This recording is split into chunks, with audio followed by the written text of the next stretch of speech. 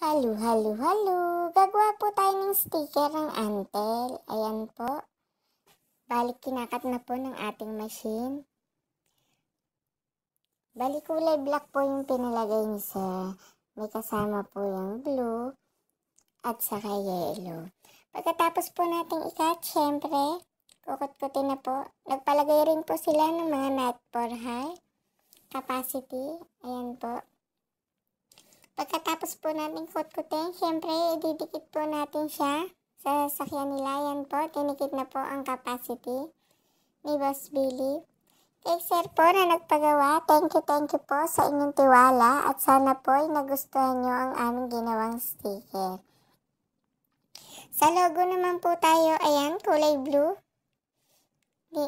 Kinukutkot, ididikit na po natin sa sasakyan. Ayan po.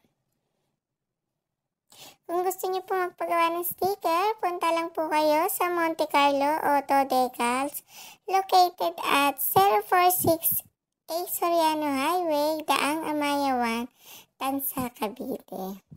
Kung ano pong gusto niyong design, kami na pong bahalang gumawa niyan.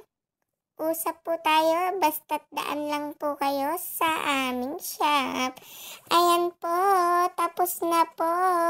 Bye-bye, babu!